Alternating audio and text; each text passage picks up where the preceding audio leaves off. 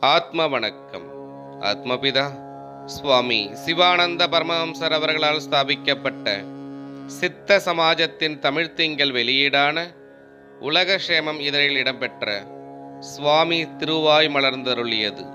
தலைப்பு குரு சேவை.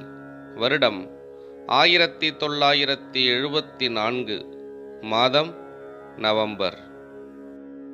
துருவன் ஐந்து வயதில் தவம் செய்தான். நாரதர் உபதேசித்தார்.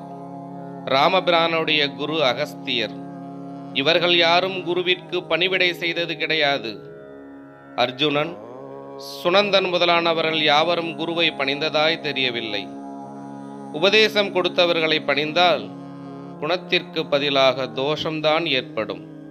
அது எப்படியெனில் நமக்கு ஒரு நிலம் உழுது பயிரிட வேண்டியிருக்கிறது என்று வைத்துக் கொள்வோம் அதற்கு விதை தேவை. விதை வைத்திருக்கும் ஆளை தேடிச் சென்று விதை வாங்கி நிலத்தை உழுது விதையும் விதைத்தாகிவிட்டது. பிறகு விதை கொடுத்தவரை தேடி பிடித்து அவருக்கு பணிவிடை செய்தால் பலன் கிடைக்குமா? கிடைக்காது. பலன் கிடைக்க வேண்டுமானால் விதைத்த விதையைத்தான் சரியாக காப்பாற்ற வேண்டும். அதல்லாமல் விதை கொடுத்தவரை சுற்றுஷித்தால் அதாவது பணிவிடை செய்தால் பலன் கிடைக்கவே கிடைக்காது. இப்பொழுது நாம் சாதாரணமாக செய்து வருவது விதையில்லாத வேலையாகும். அதனால்தான் நாம் நாசமடைந்து போகிறோம். அந்த விதை என்பது ஜீவனாகும். அப்பொழுது ஜீவனாயிருக்கிற விதையைத்தான் நாம் பூஜிக்க வேண்டும். இப்பொழுது நம்முடைய ஜீவன் ஜலரூபமாக வெளியில் போய் நாசமடைந்து கொண்டிருக்கிறது.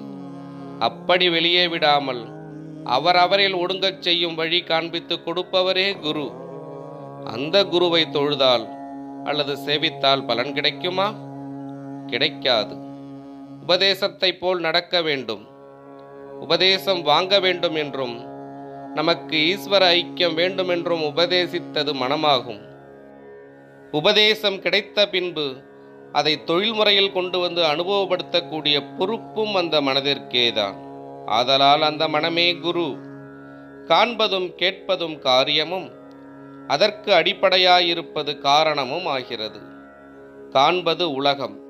ஆதலால் உலகம் அதாவது உபதேசம் தருபவர் காரிய குருவும் அதற்கு காரணமான மனம் காரண குருவும் ஆகிறது.